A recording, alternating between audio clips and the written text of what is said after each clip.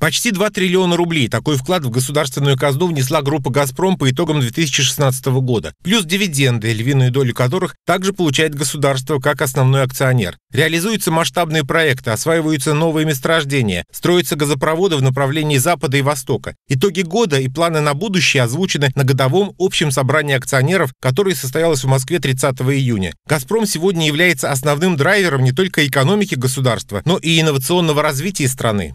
Я могу сказать, что «Газпром» э, активно занимается импортозамещением. Сейчас мы можем смело сказать, что 100% э, и запорной арматуры, и э, продукции в виде труб полностью является наше отечественное производство.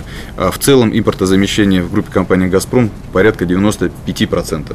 Уровень газификации Самарской области высок, он составляет 97%. В 2016 году был введен в эксплуатацию после реконструкции газопровод Винтай-Самара. Еще три социально значимых объекта планируется обновить в 2017-2018 годах. В рамках программы газификации регионов России подготовлена техническая документация по девяти инвестиционным проектам общей стоимостью в 2 миллиарда рублей.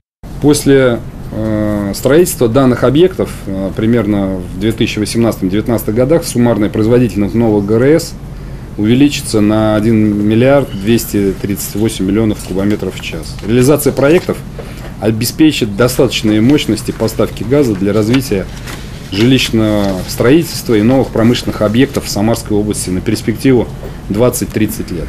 Предприятия группы «Газпром» продолжат оказывать поддержку социальной сфере региона, детским и спортивным учреждениям, экологическим и благотворительным программам. Однако нерешенным остается вопрос неплатежей потребителей за газ. На общем собрании акционеров было заявлено, что эта проблема не только приносит убытки, но и тормозит инвестиционные проекты компании.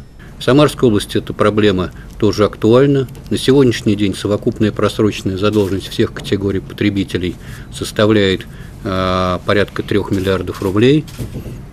Из них э, задолженность промпредприятий составляет более 2 миллиардов рублей, задолженность населения порядка 900 миллионов рублей. Значительную часть долга составляют неплатежи в сфере ЖКХ, причем это не по вине населения, а из-за злоупотребления со стороны управляющих компаний. У этой проблемы есть и другой аспект. Наличие гигантских долгов у региона может стать основанием для сокращения инвестиций. Олег Зверев, Артем Сулайманов. События.